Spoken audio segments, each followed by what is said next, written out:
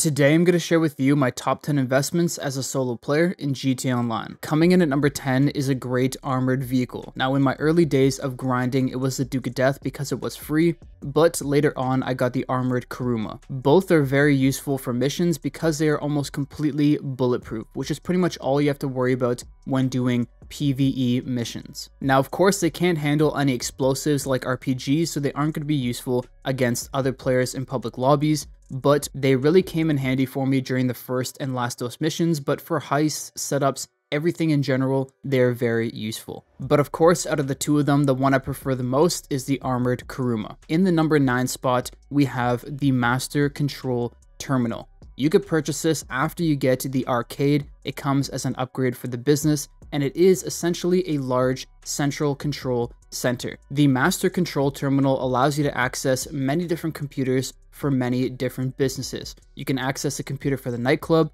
the bunker, all of the MC businesses, even the vehicle and special cargo warehouses. And where it really comes in handy is when I'm trying to efficiently run all of my partially passive income businesses. I could do it all from one location. I don't have to go and travel to each individual business to buy supplies, to increase my nightclub popularity. This just makes everything a lot easier. So it's really helped me in my passive income money grind and if you're a solo player or someone who likes to make money passively, instead of having to go out and do heists and whatnot, this would actually be a great purchase. And keeping efficiency in mind in the number 8 spot is personal quarters or accommodations.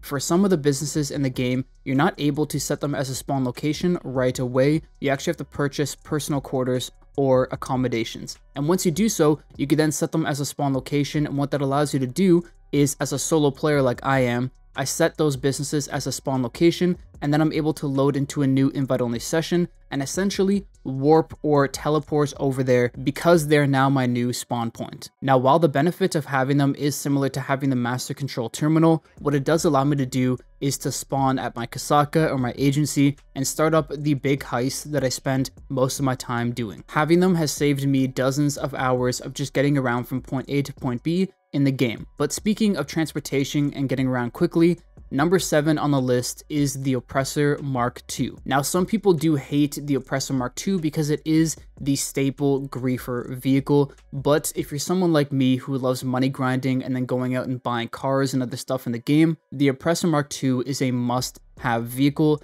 and it served me really well during my time playing. Now for those who may not know, the Oppressor Mark II is essentially a rocket powered bike. It is a flying bike. It's very fast, you could have missiles attached to it, and probably the best thing about it is the fact that it can maneuver just about anywhere. It could take really sharp turns, it could fit into tight spaces because it is a small vehicle, and taking off and landing is very quick. And while there are other great aircrafts in the game, like jets or helicopters, they're just a little bit more clunky because they are limited to where they can land and how they can maneuver through especially the city. Now the $8 million price tag may scare some people away, but if you have enough money, you might as well go for it. I purchased it when it was cheaper, but it is such an incredible vehicle. But speaking of aircrafts, in the number 6 spot we have the hangar, and there's two reasons for it. The first is it's actually a great way to make money in the game. Recently, with the new update of the land, source, and sell missions, you could make as a solo player up to $750,000 per hour with the business, which is incredible. That puts it into the top 5 businesses in the game very easily. But not only that, the hangar itself allows you to store and customize your different aircrafts. So all around the business is incredible. I've made many millions with it and I really enjoy the ability to have so many different aircrafts in the game. Next up in the number 5 spot are two businesses that I really enjoy and also have ton of utility. The first is the auto shop. The auto shop allows you to do auto shop contracts and these contracts are essentially mini heists with two setups and a finale they pay out anywhere between 150 to $300,000 and only take usually 20 to 30 minutes to do. So that alone sells me on the auto shop because I love heists in game. It's probably my favorite thing to do in the entire game. So having eight available to me is amazing. But not only that, with the auto shop, you also have the vehicle workshop. And with it, you're able to essentially customize your vehicles however you want. There is a price discount on the customizations, which is great, but Unlike when you go to a Los Santos Customs, none of the customizations for your vehicles will be locked behind, let's say, completing stunt jumps or your level in game. They will all be unlocked, which is incredible. I'm a big car guy, so this was a must have, and I've got tons of value out of the auto shop for simply that alone. The other business I'm tying in here with the auto shop is similar to it, and that is the salvage yard. Now, there are a few different ways you can make money with it. You can make money by salvaging vehicles. You can also make money through the wall safe. And then the final way is through the weekly robberies. Each week, there's going to be three random robberies chosen, and you're going to be stealing a vehicle which you can sell for some money. Now, once again, they are very similar to heists. You have a few setup missions and a finale.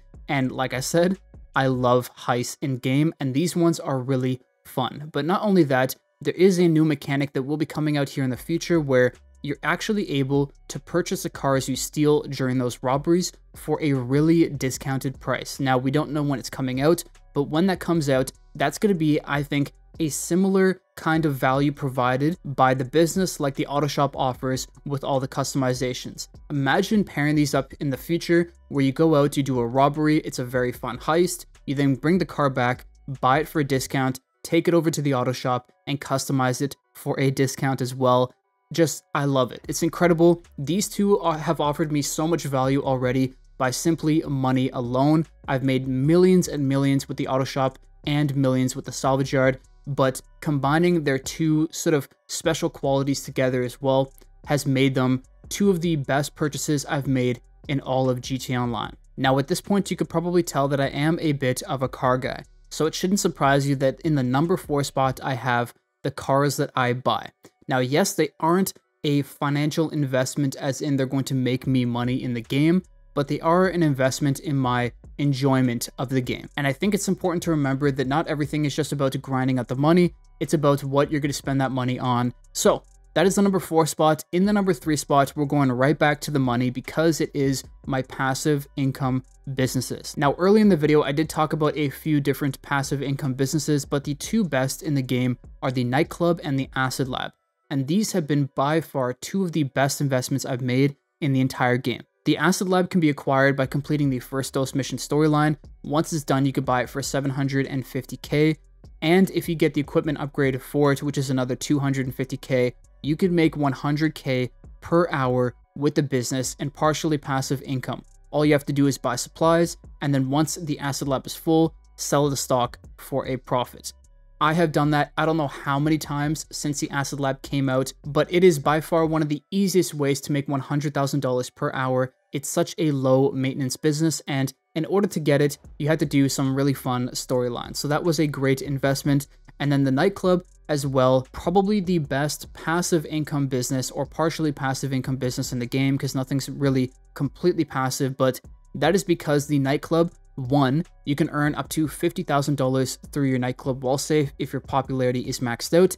And two, you can earn up to $50,000 worth of product sourced in your nightclub warehouse if you have five technicians assigned to the right types of goods. Once again, combined, they earn me $100,000 per hour in partially passive income. And as I've said many times, as someone who loves to do heists and missions in game, having passive businesses making you more money in the background while you're doing those heists is a huge plus. So these two have provided me tons of value over my time playing GT Online. But with that being said, we're now going to move on to the number two spot on the list, which is the agency.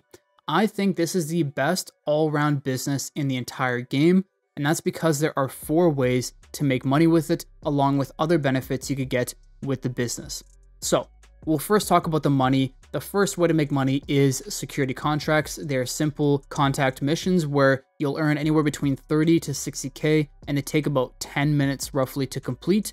But once you've completed one of them, you then unlock the VIP contract, which is the Dr. Dre contract. It pays out roughly 1.1 million for about an hour and a half to two hours of work. It's a ton of fun. It's like a large heist with three mini heists and two finale missions. I love doing it. I've done it many times. But that is not all, because once you've completed three security contracts, you then unlock payphone hits, and they are simple assassination missions where if you take out the target or targets, and complete an assassination bonus, you will earn $45,000 and they can be done every 10 minutes. They only take about 5 minutes to complete, so they can be done multiple times an hour, making you tons of money in the process. And finally, the fourth way to make money with the business is with the wall safe. Every in-game day or 48 minutes, similar to the nightclub, a set amount of money will be deposited into the wall safe, which you could take for yourself at any point. But depending on how many security contracts you do, that amount can increase. So for every security contract you complete, an extra $100 will be added to the total that will be deposited into the agency wall safe every in-game day. It does cap out at $20,000, but it is a great additional way to make money. So those are four incredible ways to make money with the agency, which are crazy enough. But not only that, you also get a free helicopter with the business, which you can access by talking to your assistant on the main floor. You also, if you get the armory, can then get Mark II weapons and better weapons in the game. And if you purchase the additional vehicle workshop, you can then get Imani tech for vehicles, which is stuff like adding armor plating on certain cars, getting the missile lock-on jammer, which can be very helpful in public lobbies. So I have used all of these different things. I've used a helicopter when I was first starting out because I didn't have enough money to get my own helicopter. I've made many millions with all of the different ways to make money with the business, and I've used the armory for better weapons and used Imani Tech for vehicles. So all around, it provides so much value for us players, and that's why it's in the number two spot for me. Coming in at number one is likely not a surprise. It is the Kosatka submarine, which allows you to do the Cayo Perico heist. The heist is the single best way to make money in the entire game for solo players or for people in general, because with about an hour's worth of work, you could make 1 to all the way up to 1.5, 1.6 million dollars. It is crazy. It's also a ton of fun to do, and I've done it so many times that I can't even count. I've probably made 150 to 200 million from the heist alone. But the heist isn't the only benefit of the Kosatka because you could also get the Sparrow helicopter which can be stored in the back of the Kosatka.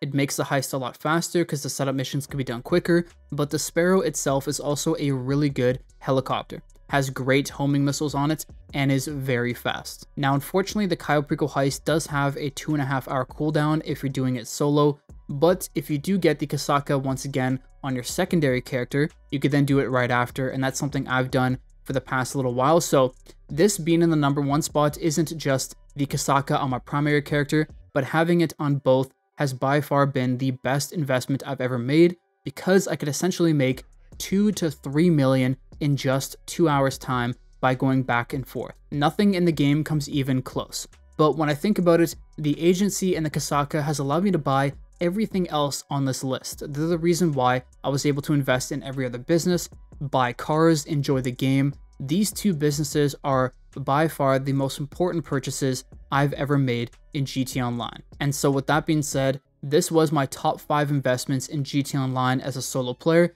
let me know in the comment section down below what are your best investments that you've ever made. And with that being said, I'll see you in the next one. Peace.